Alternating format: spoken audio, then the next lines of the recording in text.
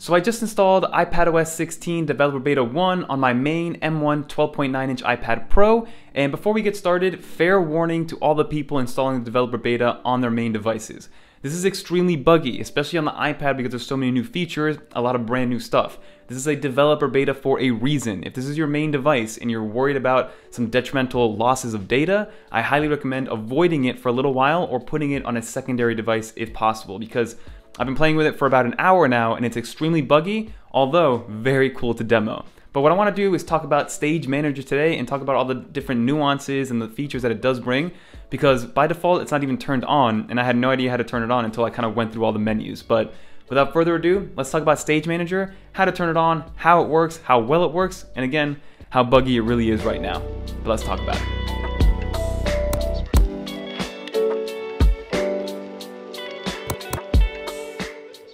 Okay everyone, let's jump right into this video. So the first thing I'm going to show you is that I am on iPadOS 16. So if you see, we do have the new lock screen with that new font right there. So the next thing I'm going to show you is the actual build number. As we do in all these update videos, so we go into the About section, go to 16.0. Ooh, this is actually new. This is a new little drop down or new like vision that we have. Before they used to just pop up right there, but now you can see the actual build number and we're on build number P. So, so 20A5283 lowercase p, which means we probably have a lot of betas coming in in the near future. But again, this is beta 1 of iPadOS 16. And what I want to show everybody is all about Stage Manager. That's what this video is going to be about. I'm going to show you guys the nuances, how it works, how it looks. And again, this is extremely buggy because again, we're on beta 1. So the first thing that you're going to notice is that Stage Manager is actually in your control center. So this new little icon right here is what activates Stage Manager.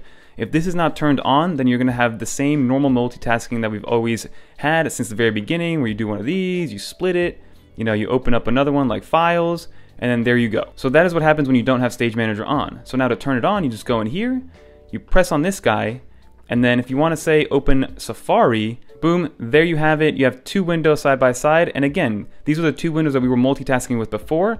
And just like Apple said, they are resizable, so you can move them around. Again, it's not absolutely perfect, but it is decently fluid. Like it's not nothing too crazy. So if I press this right here, let's go to ESPN, you can see that it's loading up nicely. And then if I want to open up another window in this view, you actually have to grab it, move it into here, and then you have it with these other two. So again, we're going to resize this one.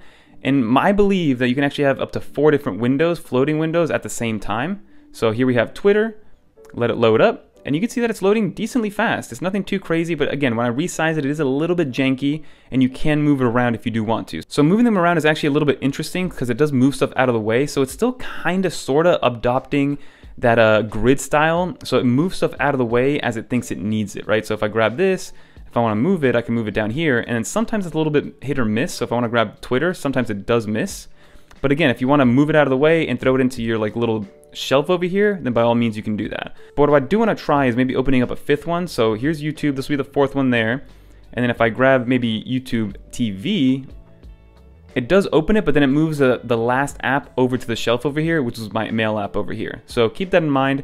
That is what we're dealing with when it comes to that. when it comes to actually using multiple windows at the same time. But again, I think this is absolutely incredible that we finally have floating windows and they work well. So if I go over here and open up this YouTube video, it's gonna start playing normally. And I wonder what happens if I play another YouTube video. Will it pause the other one?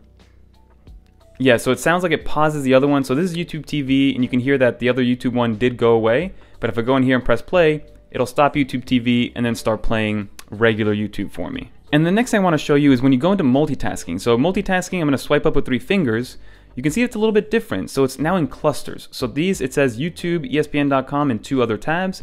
And you can see that there are in different clusters. And then you can see that these are actually smaller because they are in that because they are in that stage manager view and they are floating windows versus this one, this is a full screen one, which we didn't put into stage manager view.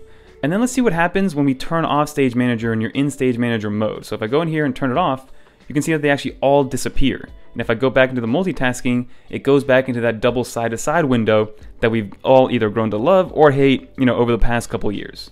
So now the next thing that I do want to show is what happens when you plug in an external monitor like they did during the keynote. So this is my BenQ monitor. It's a Thunderbolt capable monitor. It's what I use with my MacBook Air. Now this part has been a little bit buggy in all my testing so far. Again, it's only been about an hour, but let me show you what happens when you do plug it in.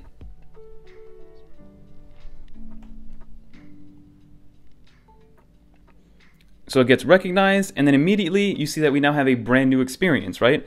Normally, you can see my widgets down here, it would get mirrored onto that secondary display, but now we have two completely different separate displays and it works just like any other secondary monitor, right? So here's my mouse down here, and if I scroll up, then my mouse goes up here just like normal.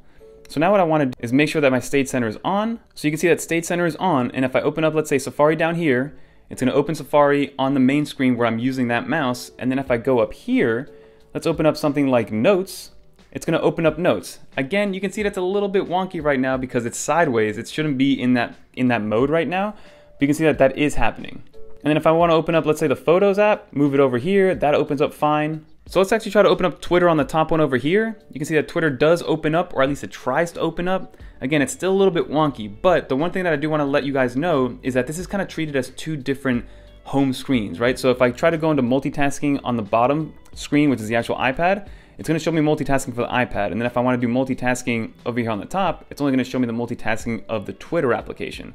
So again, you can see that stuff just kind of quit out. It's still a little bit broken, but in theory, it does work. Some things that I've tried so far is moving an entire, let's say if I have Safari open, and if I want to move it onto that secondary screen, you actually cannot do that, which is probably something that will get fixed and will be brought into, but right now you cannot actually move one window into the other screen itself. You have to open them separately onto those screens. So if I want to open up, let's say LumaFusion, it's going to open up on there. And then I have Twitter over here still. So if I want to bring in Twitter here, you can see that I can do that. So all in all, like in theory, it's working, it's demoing correctly. Again, wish me luck editing this video in LumaFusion because that's what I use to edit most of my videos. But overall, Stage Manager in theory is gonna work amazingly. Again, this is just the original beta, beta 1, and we're gonna get a lot more updates as things go along. But overall, I'm liking what I'm seeing. So far, it's decently fluid. Now, the million dollar question is how much work will I be able to get done on an original beta? So definitely follow me on Twitter right here if you guys want to follow along because I'll be probably tweeting about how I'm editing in LumaFusion on iPadOS 16 with a secondary monitor. But as you can see, LumaFusion seems to be stuck and that's happening to a decent amount of things. So maybe if I move this over to the shelf that seemed to work before and then I try to open it, you can see that now it is opening and if I press, let's say, start to move this around, now it's working. So you can see that you know, all in due time. There's little hiccups that happen, but overall, I'm a big, big fan. Sorry for the live, kind of raw, uncut footage right now, but this, I just wanted to show you guys in real time what this looks like. But overall, I can't be upset. So that's pretty much to do it for this video, everybody. Like you saw, Stage Manager has a lot of promise. Obviously, Apple has a lot of work to do on the bug fix side because, again, it is an original beta, a 16.0 beta 1 to only developers. It's not even open to the public developer program quite yet. So definitely stay tuned. Hopefully Apple keeps iterating on this, you know, every week, every two weeks, solidifies it a little bit more because there was a lot of new features thrown into iPadOS 16, not just Stage Manager. You know, there was Freeform, which we'll talk about later, the new weather app, you know, the new collaboration stuff, and then again, all the stuff that happened with iOS 16 is also being ported over into iPadOS 16. So bear with Apple, bear with us while we go through all these new feature changes, and at some point we'll have a full video of iPadOS 16 to all the masses once it does release. But if you guys did make it to the end of the video, leave a little dolphin right here so I know that you made it to the end, and leave a comment down below if you guys are excited for Stage Manager, if you're excited for iPadOS 16, and if all these bugs are finally fixed, is this enough to make you say goodbye to Mac OS, or is there still something missing? Always curious to know. But if you guys want to see some more stuff on iPad OS, click on one of these videos right here. But until next time, everybody, I'm out of here. Peace.